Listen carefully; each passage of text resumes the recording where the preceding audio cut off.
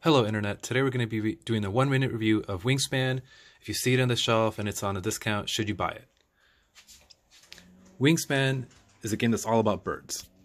So you collect birds, you play birds, you get food to feed the birds, and you can even get eggs to lay on the birds.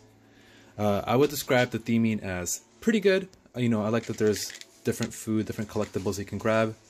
I like this little bird feeder mechanic, so you can actually like take the food and then grab it. Um, and also, there's a lot of variety when it comes to like the actual end of round goals. So there's multiple ways that you can play. Uh, there's even a backside to this.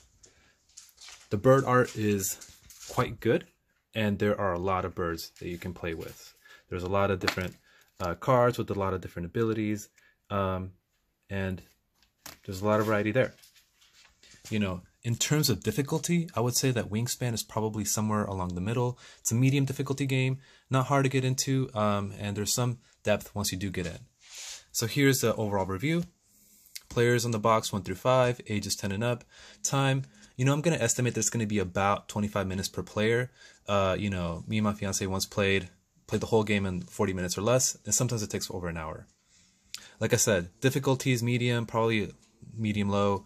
Uh, depth, uh, so there is some expertise in how to play the birds, but I would say that um, something like chess might have a higher skill ceiling, for, for example.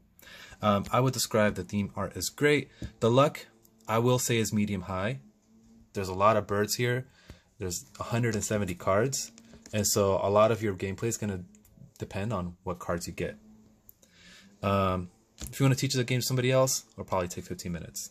So to sum up, Bro, the pros are that it's beautiful birds, there's strong theme, and there's also a high variety with the bird cards and the bonus cards and the end of round goals. Weaknesses, it's a lot of birds. so that actually means that it's, it's difficult to shuffle the deck because there's so many. Uh, egg laying as a mechanic is maybe a little bit too strong, and the skill ceiling um, is maybe capped by their luck, and then the storage of the actual components in the box is maybe, uh, you know, just passable. So to conclude, yes, I do think if you see this on, the, on, on a shelf, it's at a discount, get it. It's a great board game. Thank you.